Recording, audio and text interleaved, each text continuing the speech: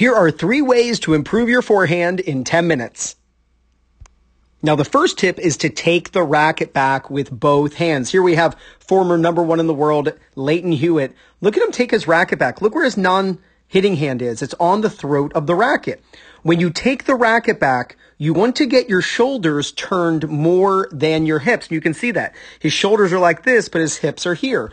So by turning with his non-hitting hand on the throat of the racket, he's creating tension in the body. And that coiling allows him to then uncoil later on in the stroke. So make sure that you take your racket back with both hands. Film yourself and be sure that you're making this move.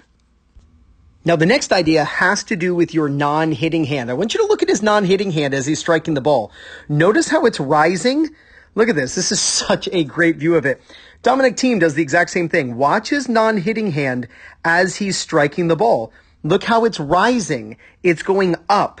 What I tell players is when you film yourself, stop the footage at contact and it should look like you're waving to your opponent with your non-hitting hand. This facilitates hip turn. Remember, we just coiled. We just turned our body away from the target. Now we need to uncoil and release all of that energy. A lot of recreational players drop this non-hitting arm, which creates a counterweight and makes it nearly impossible for the hips and the body to turn. But when the non-hitting hand rises, it makes it very easy to rotate. And yes, a lot of players in the comment section say, well, that's just a natural result of turning the body. Well, sure, but if you're not turning the body, then raising the non-hitting hand isn't natural. So we can actually force the body to rotate by raising the non-hitting hand as you're striking the ball. So just feel like as you're hitting the ball, you are waving to the opponent with your non-hitting hand. Here's another view of that exact idea. Look at his non-hitting hand rising as he's hitting the ball. We stop the video at contact. I mean, that basically looks like he's waving to his opponent at contact. Film yourself, look at the footage at contact. Where is your non-hitting hand? Just like Novak Djokovic, I would recommend that your non-hitting hand at contact is at head level. Now, the last tip is what I call high, low, higher. This is a Vic Braden concept, but I added the higher at the end. There's his racket in the take back. Remember, he took the racket back with both hands and the racket is up when he took it back. Now he drops the racket down and the low of the high, low, higher the low is actually prior to contact. So the racket should drop down below contact height. That way it can go up to contact. So watch, he's raising the racket up, and I want you to look where his racket ends up. The racket ends up high. So let me draw this all again. So his racket is high. Then his racket is low, and he's dropping down below contact because he wants to get topspin. So there's the low. And then here's higher. The idea is that think of going up higher on the follow through than you did the take back. If that's the way you think, you'll make sure that when you drop, you don't pull across, but when you drop, you go up. That's what's going to put the necessary topspin on the ball for increased control. Now, to help me practice these three tips, I've got the Topspin Pro here. To get your own, you know what to do. Grab my affiliate link in the description below. I'll also pin it in the first comment. It would mean the world to me when you get a Topspin Pro that you use my link for at home practice. So, thank you so much. Tip number one take the racket back with both hands.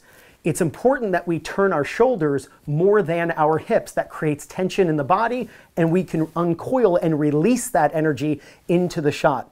An easy way to practice this, rather than just thinking, oh, both hands on the racket, actually release your hitting hand and just practice what it feels like to take the racket back with only the hand on the throat of the racket, turning the back of your front shoulder to your opponent. Again, that gets our shoulders to turn more than our hips. If you're a coach, that's an easy way to teach your students the proper take back. Have them just take the racket back with their other hand. Then when they turn, it'll be super easy to keep both hands on the racket. Tip number two, because we've coiled, now we need to uncoil. And an easy way to make sure you uncoil is at contact. If you film yourself and look at the, the video and stop the video at contact, at contact, it should look like you're waving to your opponent. So we turn with both hands, Then we uncoil, and when you uncoil correctly, your non-hitting hand is here. Now there are different variations. Some players have it a little tucked in, some players have it here, some players have it here, some players have it here. I like kind of right in the middle, the nice obvious, like looks like you're waving to your opponent. You'll see that my hand is at head level. We just saw Lleyton Hewitt do that. I've made videos about Novak Djokovic doing the same thing, how the non-hitting hand is at head level, looking like he is waving. If your non-hitting hand drops, it's most likely becoming a counterweight and it makes it harder to turn your hips. You'll also see people hugging themselves when they do that. So take the racket back with both hands, tip number one.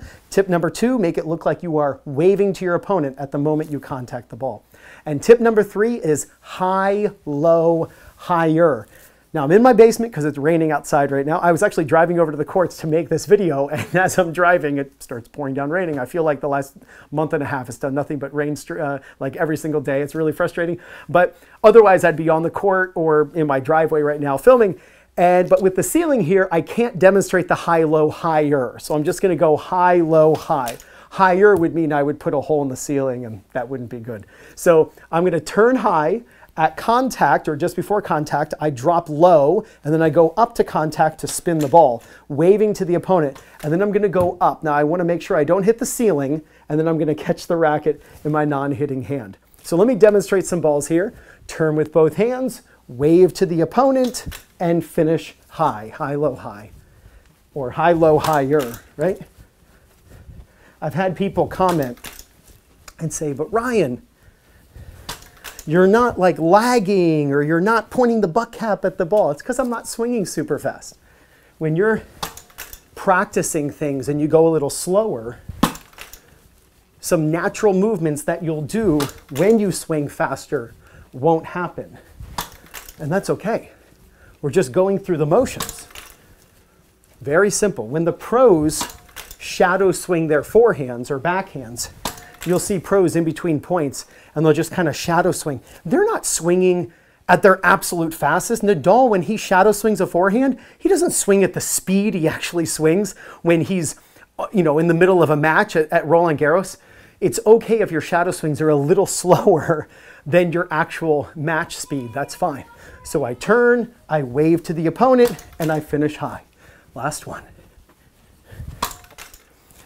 Now, if you're looking for new people in your local area to play against, practice with, or if you're looking for a coach who can help you take your forehand to the next level, then use my link in the description. I'll also pin it in the first comment, playyourcourt.com slash two minute tennis.